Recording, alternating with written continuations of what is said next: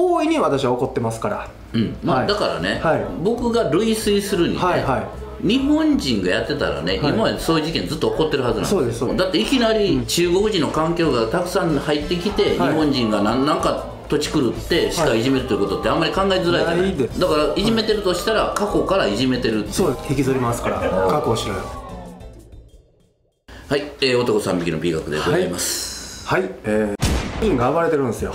奈良で。はい、これ今の一行で一撃で P が入った気がするんですけどね。いやいや大丈夫でしょ、はい。暴れてるって話ですからね、はい、まあ、これあの観光客ですよ、はい。ね、こうごめんなさいね。あのもし違ったりとかしたら今は今の情報で喋るから文句言うてこんといてね。あでも僕が見た動画では奈良で中国人観光客が、えー鹿を蹴ってましたね上に乗ったりとか。上に乗ったり。あそれ別のね、はい。あのー中国人女性ね、はが、えー鹿に乗ってました。わははい、でいじ他のめてると。そうです。で他のやつもっとひどいやつは、えー奈良のあの大通りで、うん。えー中国籍と見られる男性ですねが鹿をもうお腹のとこバン蹴ってました、ひどいね、はい、で鹿それ見て逃げていくんですよ。で逃げていく中にもちょっとこうおっとりした鹿、うん。おっとりした鹿のね、うん。顔をバーン叩いてました。わへえすごいね。ほんまね、あのこれは今いいですよ。だコメント欄に中国人かどうかわからないじゃないですかみたいな、うん。お決まりのコメントはもう分かってるんでもう書かないでくださいね。ただそれに好意に私は怒ってますから。うん。まあ、はい。だからね、はい。僕が類推するにね、はいはい。日本人がやってたらね、はい。今までそういう事件ずっと起こってるはずなんですそうですそうです。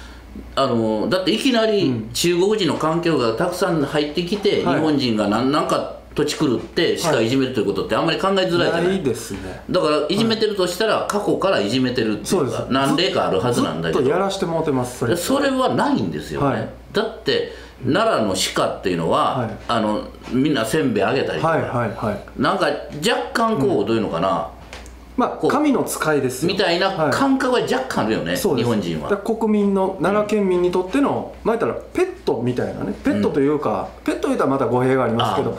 あ逆にこう、僕は神聖なというかちょっと怖い存在なんですよ、そうだ。あ。鹿がふーっと見てたら何を見てんのやろ、このこの鹿はと思って。研ぎ澄まされた目でね、うん。はい。なんか若干怖さがあるん。ぐらい、まあ、イフイフの気持ちですよね。そうですそうです。恐れおののくというか。それがやっぱり日本人、特にその奈良に観光に来る方で当然奈良に住んでる方にの地にはずっと来てるんですよ、奈良やもんね。奈良のことなんですよ。はであれ早起きは三問の徳っていうじゃないですか、いうん。あれはこれいろんなゆゆえんがあるんですけど、なぜ早起きをするといいか早起きしたらいろんなことができて素晴らしいですよっていうポジティブ的なメッセージもありつつ実はちょっと怖い話もあって、え奈良っていうのは鹿殺したら厳罰なんですよ。うん。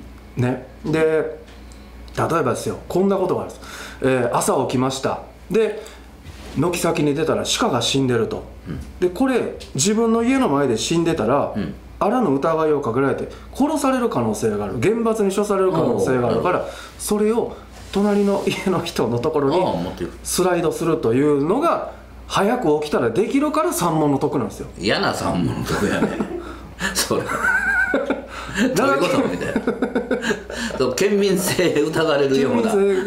だ よねそれはそうなんです。よほんまにずっとこれで来てますから。あそれで来てるんや。だからあ。奈良県の人奈良市の人は早起きなんですよ、はいはい。なぜなら鹿の遺体が寝てた だらったらよその。隣あそういうことね、そういうことか。ぐらぐらいっていうことを僕は知っていただきたくってそういうことをみんなやってますよっていうことじゃなくてあの鹿をやっぱりそういうことをすると、うん。お上がだいぶ怒ってきてますから。あのそれは僕似た話は、はい。あの知ってますわ。え？奈良じゃないし和歌山ですか？大阪。大阪。はい。大阪の、まあ、あるところなんですはいけどね、そのこう寿司屋さん寿司屋さんとかあるじゃん、はいはい。ちっちゃい寿司屋さん。小さい寿司屋さん。でそこは朝方ね、はい。昼の11時昼っていうか、まあ、朝方の11、11、11時ぐらいに、まはあ、あのおっさんがバーッ出てくるわけ、はい。ほんだら前に、そのまあ多分、はい。そのそまあ、う不老者って言われてるんですよね、あはいはい。それがねアラーの神に乗るようなか形でなくなってるわけよ。あこうはい。はい。店の前で、はでその店のおっさん「クソ!」って言ってたから、うん。多分三門の徳で誰かがそこにこう持ってきて「クソ!」って言ってたやろねそう鹿とそんなもういやいや同じような感じ。だからもうもう11時ぐらいやからそれ移動させたら分かるやん。あそうですね。そいつ早起きしてたら、はい。そのおっさん早起きしてたら、別にこのアラーの紙横横におさらに横にスライドできてましたからね。可能やったからね。いやそれは何となく分からんことはない。言わんとしてること。だからあのアラーの紙は そのあれじゃないですか。早起きどれだけ早くできるかになってくるから、はい。どんどんスライドさせていって結構遠くからのやつが来てる可能性ありますね。そうなんですようん、だからうちのねはい。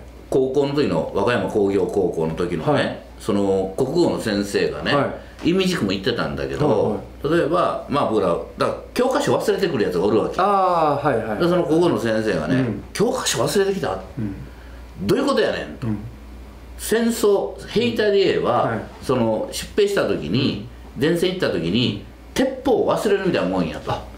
それぐらい？うん、大変なことになる、そういう時は、これも先生が言ったのよ、でこれが兵隊の一番の基基礎中の基礎らしいんだけど、相手の鉄砲を盗んででも自分のものにしろ。あなといるほど、う教えなんだって、万が一そういうことしてしまったとしたら、うん、要はなかったら人のやつでやるというぐらいのはい。あれで。っていうことをその先生はもう本当に真剣に言ってた。えそれだから和歌山工業高校工業の国語の先生。国語の先生がだから校訓みたいなことですかそうなんですよ。でその人はすごい右翼で右翼の人で でそれ言われた人が「え人の教科書を取っていいということですか?」って言ったら、はい確かに。こうねそんなこと言ってるんじゃない!」とにかく何が何でもて鉄砲は持っとくべきだという話なんだ。まあぐらいのことや言って言うてた例えガばガーン言ってたわ、はい。でその人が、はいあの仲良かった英語の先生がいるんですよ、はい。高校の先生が仲良かった、はい。その英語の先生は、えー今の世の中なってない」とか言うて。英語の先「自生衛隊はダメだ」うんうんうん。戦争反対って言ってる、うん。めちゃくちゃ左翼の人だったんですよ、はい。それその左翼です。はいその右翼のはい。高校の先生がめちゃくちゃ仲いいんですよ。なんでやねんと思ってだから英語の先生がもし教科書を忘れた生徒に対して何て言うんでしょうね。あの教科書忘れたんだったら隣の人に借りなさいぐらいでいい借りなさいというよりも、はい。あのお互いシェアしなさいっていうことだね。横の人に見せてもらいなさい。大丈夫よって言って、はいでもあの国語はバリバリ右翼やかららううまい。人隣から奪ってんの持ってこいっつって。でこれが仲いいんですよ。え？先生同士。仲いいんですかやっぱり？めっちゃ仲良かった、よう分からへんわなんででしょうね。やっぱそこの主義主張とはまたこれ仲いいっていうのはまた異なるんでしょうかね。また違いますね。あで理科の先生がの先生。理科の先生がいて、この人はねなんかあの正体つかめないような人やったんやけどあの喜怒哀楽がないというか、はい。正体つかめない人やったんやけあど、虫博士じゃないですかそれ、うん、みたいな。みたいな感じですか？全く正体つかめなかったんだけど、で僕らこそっと、はい。そのなんていうの成人映画というか、まあ、ポルノ映画ですよね、うんはい。それをちょっとまあ劇場に潜り込んで、はい。パッと見てたんですよ、うんはい。見てて、はでふっと後ろ見たらその理科の先生がはい。たんですよ、え？その全く感情が出ないという正体を表す、はいはいはい。でその人と目が僕ら合うたんですよ、はい。ほんだらニコッと笑ってこうやってましたなんかその喜怒哀楽が出た？あこの人でも喜怒哀楽あるんや。なんかでも今出てきた3人の教師の中でその人が一番信用できるなっていう気持ちになりますけどね。なんかいいですね。いいでしょ、はい。あのいやそういう先生多かったですよ、はい。なんかそんな先生ばっかりやったのかな？あのなんかねあ何やろ？技術技術って僕らあったんですよ。技術ありますね。機械工業機械科はい。ほんだら、そのまだこう立って打つ時のパチンコですわ。うん立って打つ時のはいはい。パチンコ、うん。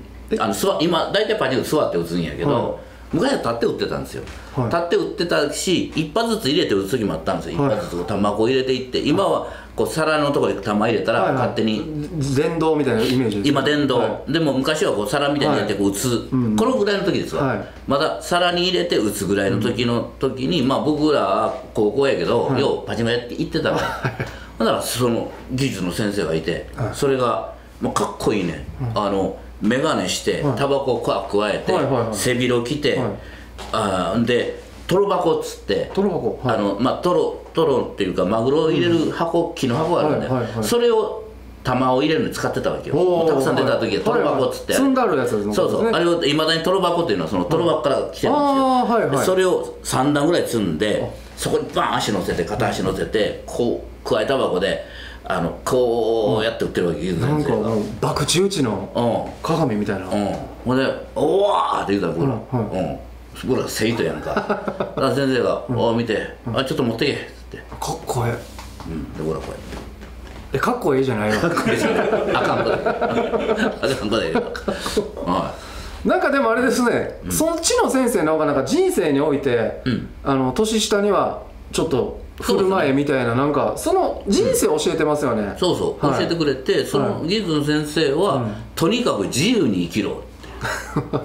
自由に生きろ、うん、だからあのもうその教えが、なんかもう通底してたね。ああ自由に生きるんだ。だからガキだからパチンコ屋に来るなとは俺は言わない。言わないと、うん。自由に生きろ、うんうんうんだから数学の先生は、お前ら自由に来たらあかんって先生って、どんな学校なんですか？ほん。であのバラバラじゃないですか。チャリをこの耳のチャリをいつもこうやってまあ坊主やったから、はチャリをこうチャリってチャリってここももみあげのこと。かもみあげのチャリって言うんですチャリってかい。そのチャリの長さをこうやって、はい。あの伸びてるやつはチャリってこうもみあげをこうこう持ってグイーン引っ張ってあの後ろからこう持って、はい。グイーンっていって、でそれを黒板にガツンと頭を叩きつける。